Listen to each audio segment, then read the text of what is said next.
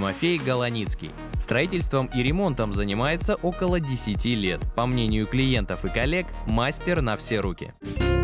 Нравится создавать новые интересные вещи, э, нравится работать э, с командой профессионалов. Нравится то, что получается, и результаты радуют. Тихой сапой по вечерам после работы, ну, в крайнем случае в отпуске, своими силами как-нибудь управимся. Такой формулой ремонта пользуются многие. Успешно ли? Однозначно ответить нельзя. Кому-то просто поклеить обои, что 9 кругов ада пройти. Кто-то обходится меньшей кровью. Впрочем, мысль, а не нанять ли нам профессионалов, у них-то рука набита, нет-нет, да и проскальзывает. Особенно, когда воплотить в жизнь все художественные задумки не получается, а второй год обитать среди коробок и строительного мусора уже надоело. Тяжело сосчитать, проектов довольно много, очень много квартир, очень много принимали участие в различных стройках и городского масштаба, в том числе, допустим, Наутилус, спортивный комплекс э, в Южном микрорайоне. Самыми выдающимися э, у нас являются, как визитная карточка, это, конечно же, ночной клуб Моджа. Там тоже мы занимались прямо с нулевых работ и под ключ. Ночной клуб Дрободан в кинотеатре Хабаровск. Ну и сейчас занимаемся тоже довольно интересным проектом ресторана в центре города.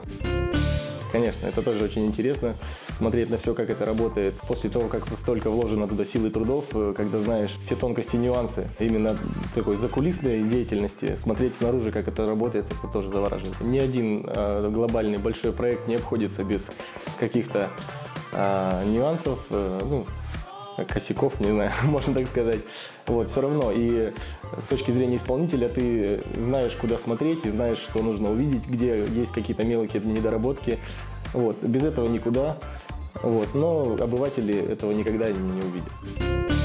Ломать, как говорится, не строить, однако без первого иногда второе просто невозможно. Идут под снос не только стены, но и взгляды. Взгляды дизайнеров на реализацию проекта. Это обычные рабочие моменты. Дизайнеры не, не всегда могут оценить по первоначальному осмотру а, какие-то тонкости, нюансы.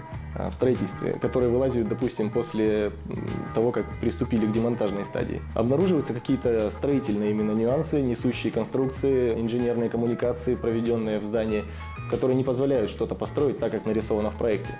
Но, в общем-то, все это не ново в строительстве, каких-то конфликтов и споров в этом нету, просто приходится вызывать э, дизайнера на место, показывать, ну и, как правило, находится множество других вариантов и по креплению, и по Э, исполнению каких-то элементов декора. декора. И есть такая фраза, что сапоги должен делать сапожник. То есть у дизайнеров э, абсолютно их дизайнерская творческая роль.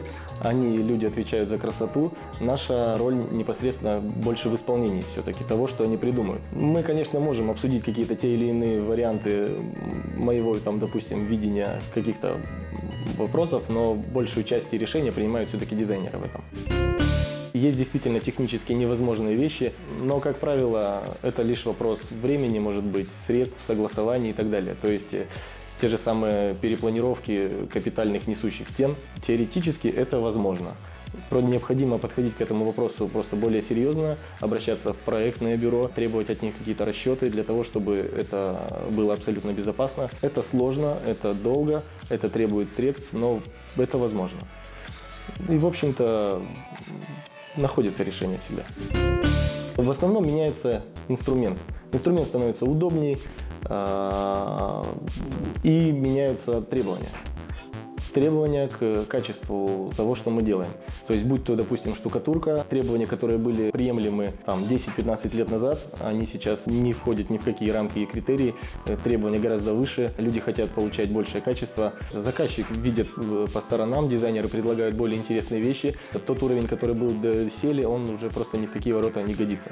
Для того, чтобы получить хороший результат, приходится больше стараться. Разговор о правильном подходе к ремонту продолжим в следующем выпуске программы «Деталь специально про дизайн. А также узнаем, кому потоп не страшен, на чем экономить нельзя и можно ли учиться без ошибок.